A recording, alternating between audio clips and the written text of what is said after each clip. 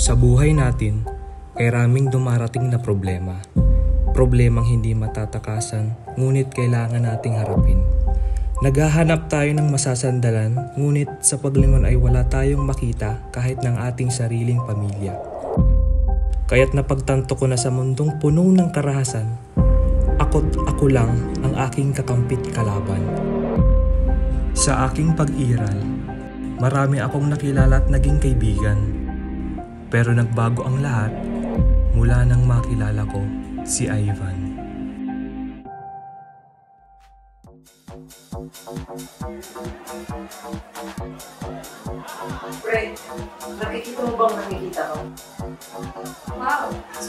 Party si Lumer. Mabuti ka. Ayan. Akong bahala.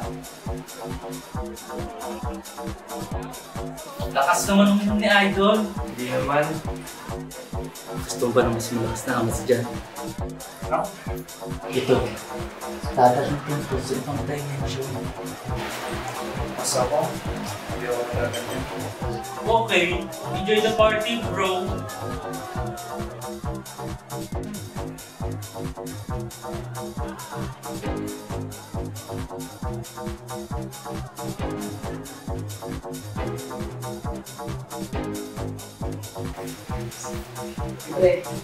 ayos tayo dyan.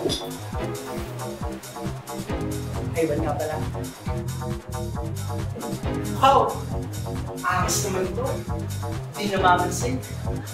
Ah, pasensya na.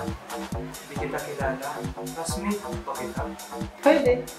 Hindi ka kasi palamig eh. Hindi mo napapasin ang talas paligid mo. Alam mo, dapat hindi lahat ng buhay. Life is short. Ah, ganun ba? Oo naman. Wala ako. Family problem. Parang ganun na nga. Takay mo yan. Taksin ako sa bahay. Hinihingi na ng mami daddy. Ang gulo-gulo. Sinabi mo pa. Mali na lang. Nakakapagod. Kaya maglibang na lang tayo. Oh, ano kami yung baso mo? Cheers!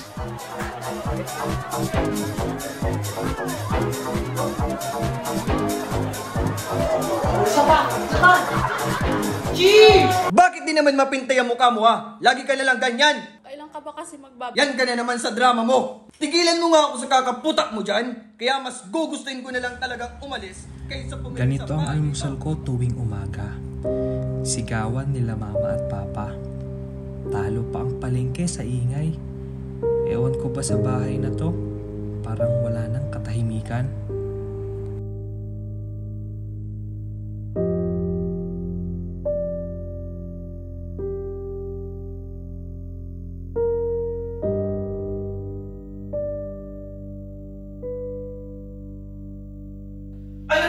Gusto mo ha? Sabihan mo kasi ang anak mo. Madaling araw ka umuwi. Lasing na lasing. Bakit ako? Alam ko rin naman yan ah. Palibhasan para sa'yo. Lasan ko, hindi na nga tayo magbayad ng renta. Alak pa rin ang inaatumpag mo. Ano ba naman yung atay mo? Pinagin sa kalabaw. Ako natin. Ako na napakayabang mo ha? Alas mamatay na nga ako ang trabaho para may makain dito. Ngayon mag-ibig ako saglit.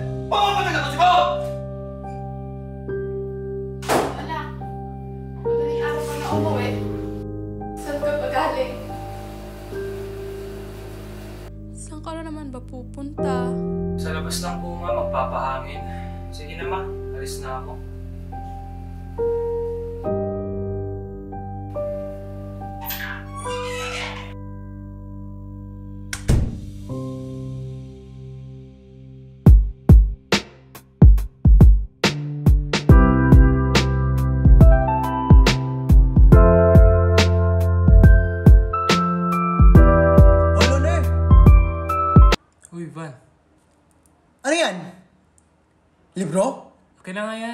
Boring mo naman. Mabuti pa. Samahan mo ko. Samahan saan? Basta! Akong bahala sa'yo. Liz, kupad-kupad mo talaga.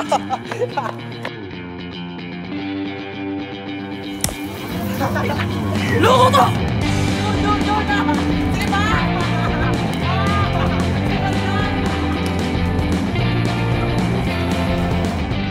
Ganito pala pakiramdam ng maging malaya. Lahat kaya mong gawin. Walang nagbabawal, walang sumisita. Ilang buwan na rin nasasagip ng gamot ang sarili sa mga tangkang pagpapatihulog. Napakalawak pala ng mundo! May espasyo pa palang nakalaan para sa mga tulad ko. Ngayon lang ako nakadama ng ganitong gaan. Walang kasing gaan.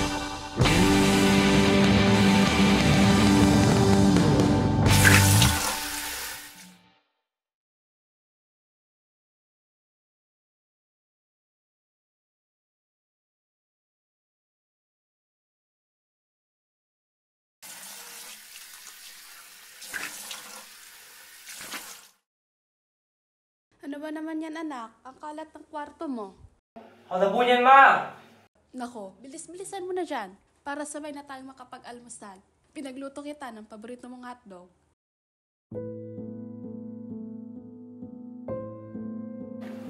Anak, may problema ba? Wala naman po, ma. Sigurado ka ba? Para nangangayayat ka lalo. Anak, nanay mo ako. Kapag may problema ka, malalapitan mo lang ako.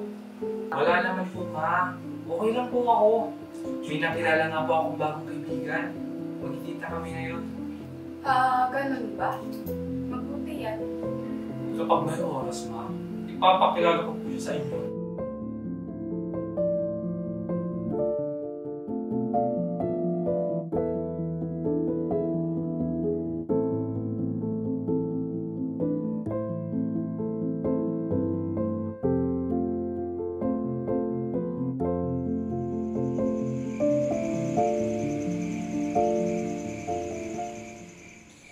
Idol, Tagal mo ah. Kanina pa ako dito. relax. Andito na nga ako eh. Kalma lang. Tara, inom na tayo.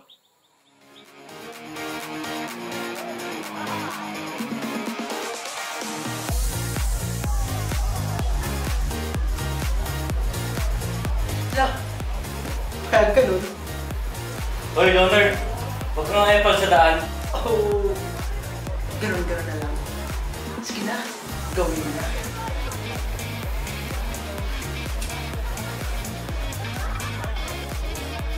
Anong sabi mo? Ang sabi ko, huwag kang epal.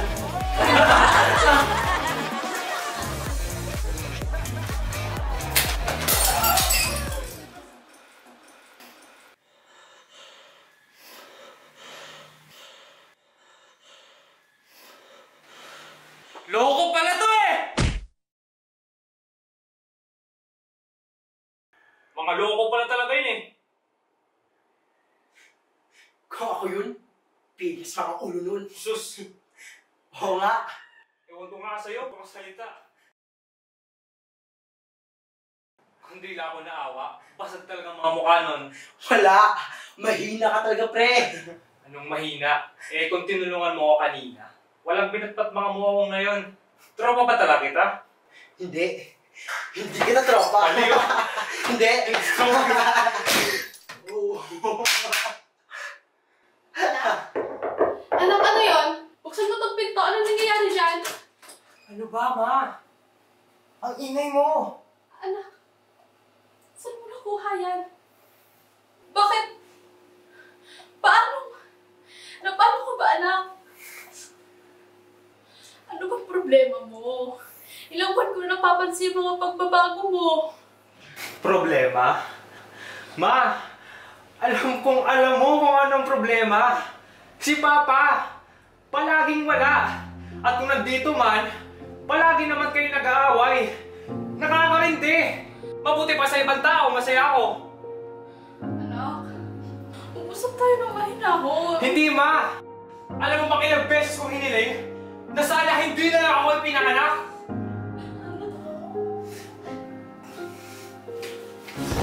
Tama na nga, Ma. Nakakaya kay Ivan. Nakikita na kaibigan ko kung anong klaseng pamilya tayo. Ano mong kaibigan! Sino nga Ivan? Itong kaibigan ko, si Ivan! Sino nga Ivan? Anak, ikaw si Ivan! Walang ibang Ivan dito, anak! Ikaw si Ivan!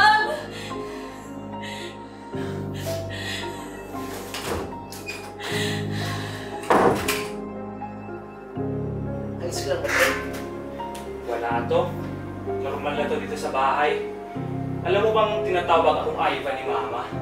Lahat na lang dito magulo. Oh, bakit? Anong mali doon? Eh, ikaw naman talaga si Ivan.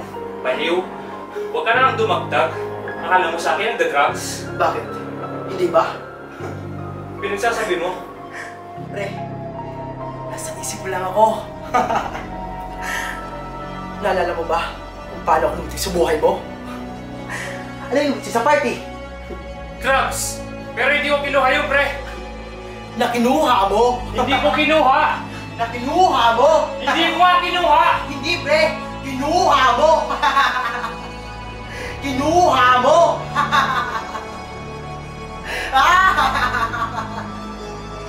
kinuha mo!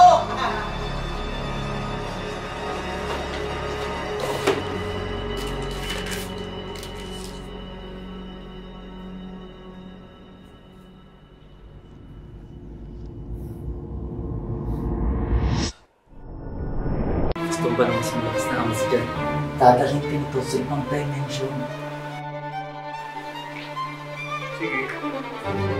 Okay, enjoy the party, bro!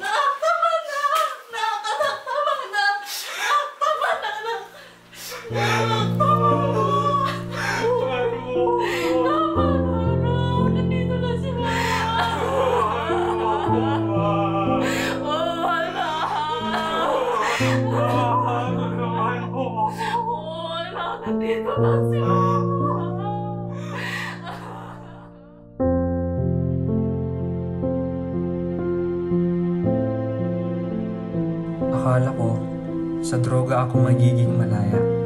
Sa droga ko mararamdaman ang lahat ng saya. At akala ko matatakasan ko lahat ng problema.